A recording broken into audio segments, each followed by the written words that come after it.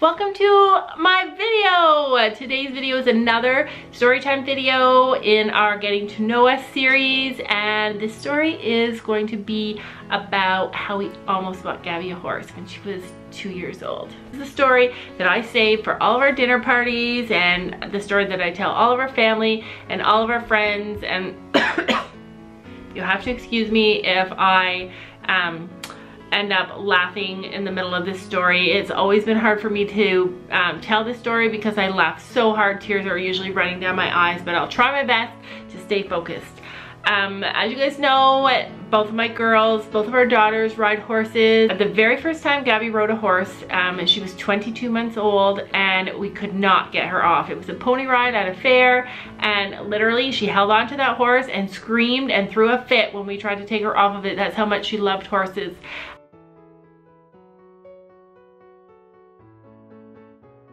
Um, by the time she was a little past two, Sam was determined that we were gonna buy her a horse. We had everything all planned out. He searched and he, and he found a horse that was gonna be the perfect fit for her. He found a farm that we could board the horse at. He had everything planned out. I just felt indifferent myself. I felt like she didn't really need a horse at two years old, but whatever. I just went along with him and um, so this is what happened. He found a guy that was willing to, that wanted to sell one of his ponies and so we drove out to his house. He said, I made arrangements to go to this guy's house and we drove out there to see the pony. So we get to the guy's house and it's a little drive from here and we get to the guy's house and the guy's not there, but his son is there. And the son says, oh, well, my dad's not here, but it's my pony and it's in the field. And if you drive down the street and around the corner, you'll see there's like this big hole in the fence. You can just climb through the fence and go in and you can look at the pony. And he tells us what color it is. Sam's already seen it because he saw the picture of it online when he found the pony. And Sam's like, wow, okay. And he gets back in the car and he's like, we get to go in the field and we get to see the horse and play with it. And Gabby's gonna get to play with it. I was hugely pregnant. I was six months pregnant, seven months pregnant. I was six months pregnant with Sophia. So I had a huge belly, two-year-old on my hip, and we're gonna, and he's super excited because we're gonna actually get to let Gabby play with the horse while we decide if we liked it.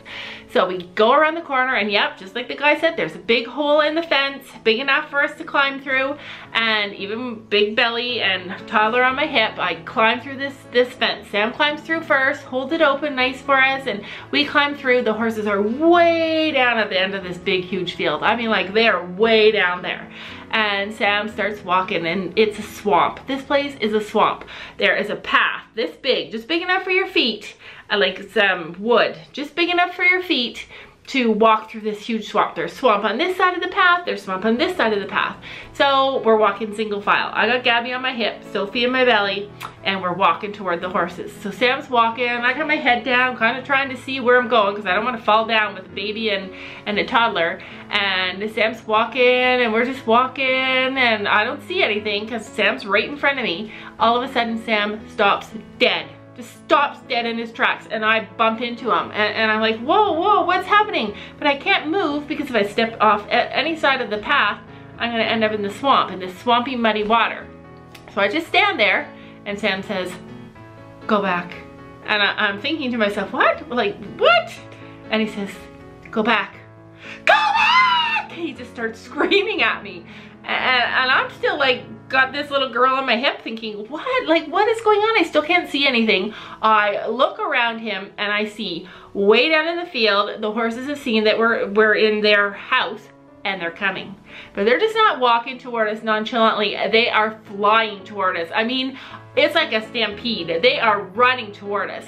So I'm thinking, oh, I better turn around. But I'm not overly alarmed. Even though I've had not great experiences with horses, I'm thinking the God's not gonna tell us to go into his field if if the horses are gonna charge us down. But at this point, Sam is in a full panic mode. He literally, I can tell, he's like trying, he wants so badly to push me out of the way so he can get to the fence. Because I'm just walking as fast as I can, but I have this big, huge pregnant belly and I got the baby on my hip and I'm laughing. I'm laughing so hard because Sam literally is terrified and I have never, ever, ever in my life seen this man terrified. Not even one single time, but he is clearly terrified. So I'm going, I'm going, and as I'm going, he's looking back. And every time he looks back, he's like, go! And I'm like, I start running. I'm like running as fast as I can being six months pregnant. I have to pee more than anything, anytime ever in my life. I have to pee so bad because I'm running. I'm carrying a toddler. I have this baby sitting on my bladder and I'm laughing. I'm just laughing so hard. So I get to the fence and I turn around and I see the horses are coming. I mean, they are close and Sam is screaming, go, go! And I'm just laughing because honestly, they don't look that scary to me. Anyway, I felt like he was this close to shoving me off the path and throwing himself and diving through the hole in the fence to get on the other side. That's how afraid Sam was of these horses. But I climbed through the, the I climbed through the thing. Sam flies through the hole right after me and the horses are, and I turn around and the horses are just standing at the gate and they're just like, hey, you got some grain for me? Like I swear, it was not a scary situation and Sam was terrified and he literally was, sweat was pouring down him. He was like, he's just like, oh, thank goodness, like, I thought we were gonna die. And I'm laughing. I'm laughing so hard and there's nobody around. We are all completely deserted and I know I'm gonna pee my pants. So I think, oh my gosh, I need to like just pee in the grass. But I, before I could even try it and pull down my pants, I was wearing a skirt, I just peed. I just, I could not even control it. I was laughing so hard, pee just ran down my legs. Like, honestly, it was the funniest thing that has ever happened to me when I've been with Sam. I've never seen him terrified, and literally, it was because the horses were coming to get grain. I, telling the story back, it does not seem that funny, but literally, it, it,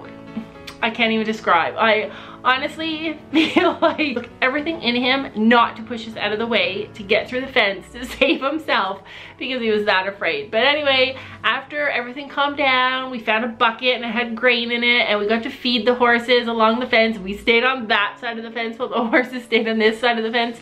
And if you talk to Sam about it and in his defense, some of the horses were massive horses. I mean, they were huge and yeah, so I guess if you were standing in a random field and you looked up and, you know, 20 horses came charging at you, you might be afraid too, but it just was, it just was not like I thought it was gonna be. And in the end, we decided not to get the horse a little more than, it, than he had bargained for. And so we just left. We didn't even talk to the guy again. We just left and um, yeah, that was our, the time we almost bought Gabby a horse.